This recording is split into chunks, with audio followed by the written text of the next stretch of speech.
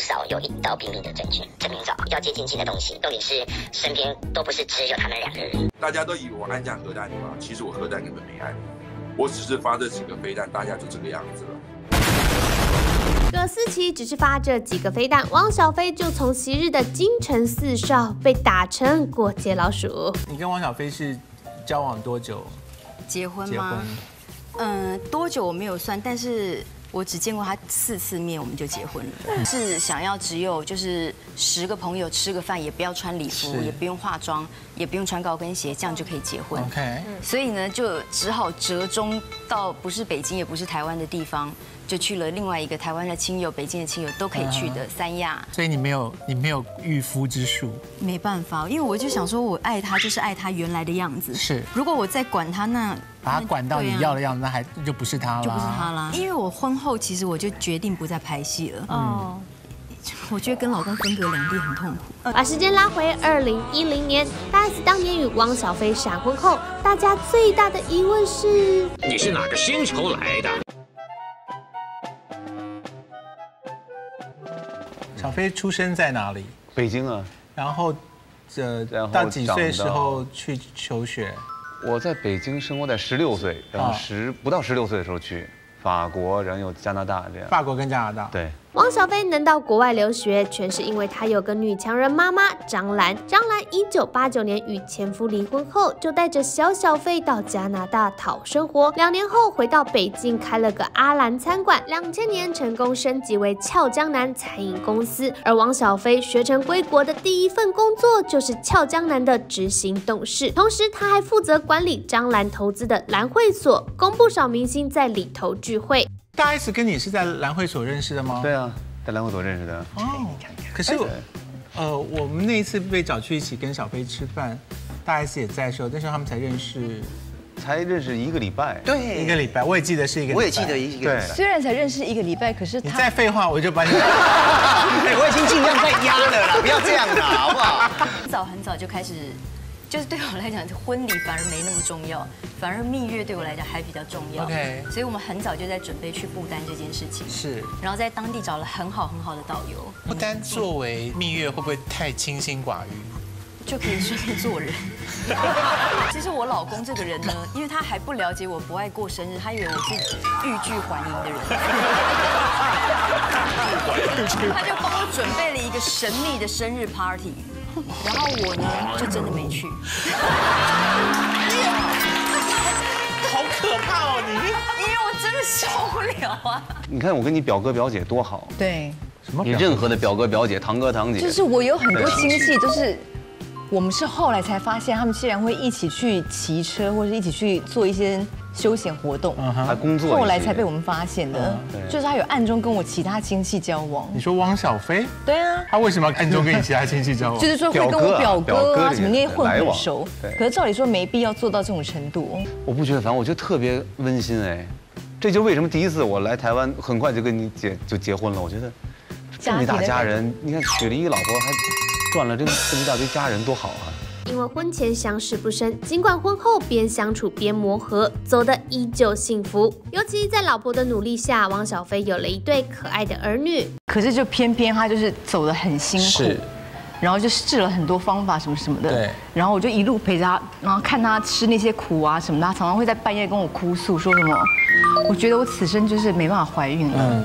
的，是然后我就一直鼓励他，然后他也常常为这件事落泪或什么的，然后加上有的时候发胖，记者就说一定是怀孕了，就是又要嫌他胖，然后又又要一直逼他怀孕。那时候那个时候就是很多人就是介绍什么中医啊，然后食补啊，各式各样的那医生给我，然后我就开始吃中药。可是我不知道为什么吃中药啊，它就是会补腰间这一块。对，然后你有问医生为什么吗？我有问医生，医生是说就是要补你的子宫啊，哦所以妈妈这一圈要有肉啊，哦要有那个这边要有油才可以保护婴儿。因为孩子需要一个坚固的家。我姐不可能会做的事情，是因为她已经吃素吃了几年，十几年了，十几年。然后在这十几年当中，我妈就频频会挑战她，就说：“宝贝儿，你那么瘦，吃点肉。”然后我妈就她就会说：“我我就是已经要坚持吃素的人，你为什么要擅自改变我的生那个生活方法？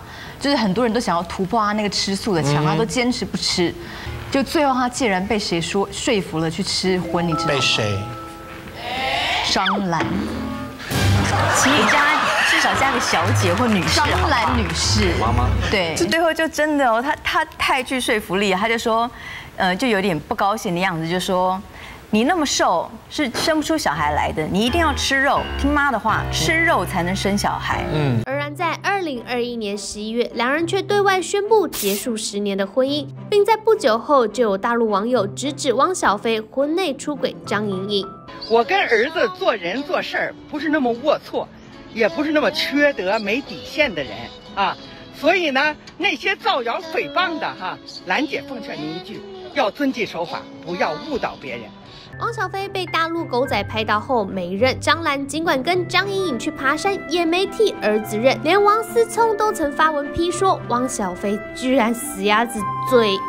做核酸时候也是张颖颖做完在旁边的汪小菲，完事了两人大胆聊了几句，等走到汪小菲家，又是张颖颖先进去拍到了，你怎么知道那是我家？啊，这不都是 P 图吗？这不造谣吗？哪个记者他他报报一下尊姓大名？我想问问男孩子，你老婆给你戴绿帽，你应该怎么办？只是兰姐前一秒要大家不要误导，后一秒就暗示大 S 给儿子戴绿帽，而且还对狗仔呛下，那就别怪狗仔不客气喽。他先是丢出两张飞影亲密合照。之后向中天娱乐加码爆料，汪小菲婚内出轨多位女性，整个话题爆出后直接狂烧三千里，不仅烧出微博文娱榜前三名，也把汪小菲给烧出来。现婆文表示，照片里那是酒后失态，出轨多位女子则是子虚乌有，并委托律师团队在台湾提起诉讼。一分证据说一分话，对，有图片有影像有证据，我们就是时候会曝光。葛思琪看到汪小菲婆文后，果然直接呛瞎将曝光。光手中证据一定给大家清楚的交代，希望到时曝光的对话消息你不要想不开啊！我是巨蟹座的人，特别会考虑别人的想法，然后呢站在别人角度考虑。但汪小菲接下来的举动可说是自打脸了，他抛文显示说明了跟婚内出轨无关的离婚时间点。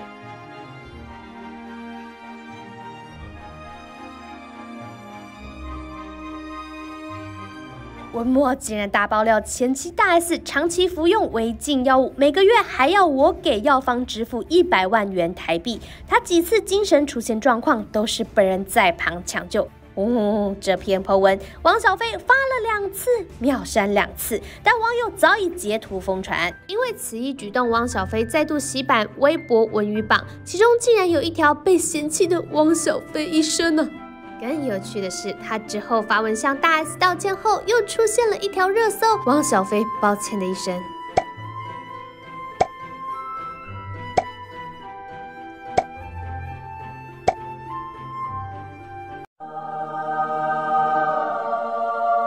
所以啊，小飞，与其事后道歉，为什么不一开始就约束好自己呢？对，枪还是得打，只是中了几颗子弹而已。这画面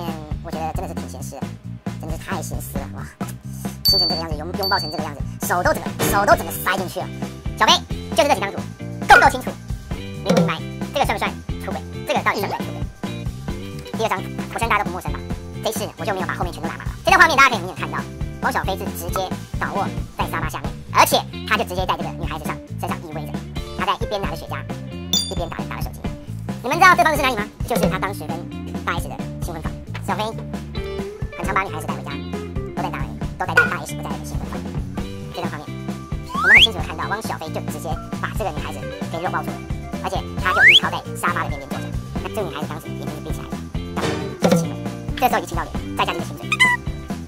我唯一妥协一件事情，我不瞒告诉大家，我说有五个人的照片，汪小菲告诉我说，能不能三人就好。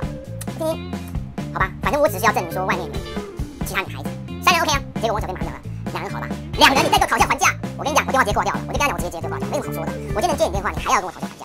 所以，我们今天我们也不做小人。那王小飞有特别跟我交代，你曝光不要紧，但是请你保护那些无辜的女孩子。